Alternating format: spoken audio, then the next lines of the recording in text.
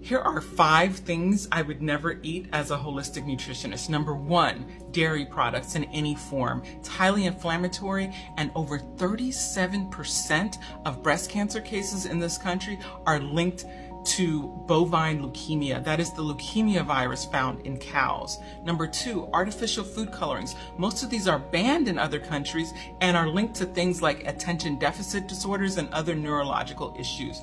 Number three, high fructose corn syrup. This compromises your intestinal lining and is linked to many digestive disorders. Number four, hydrogenated oil or trans fat. This raises your bad cholesterol, the LDL, and lowers the good cholesterol, the HDL. And number five, aspartame, another neurotoxin that's linked to diabetes, heart disease, fatty liver, and many hormonal cancers.